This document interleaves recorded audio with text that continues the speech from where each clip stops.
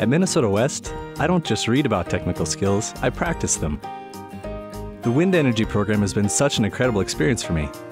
The opportunity to work on a training system that is unlike any other in the nation has prepared me for the growing industry in wind energy. Who would have thought I'd have an office view this incredible? The sky's the limit at Minnesota West Community and Technical College of Canby campus.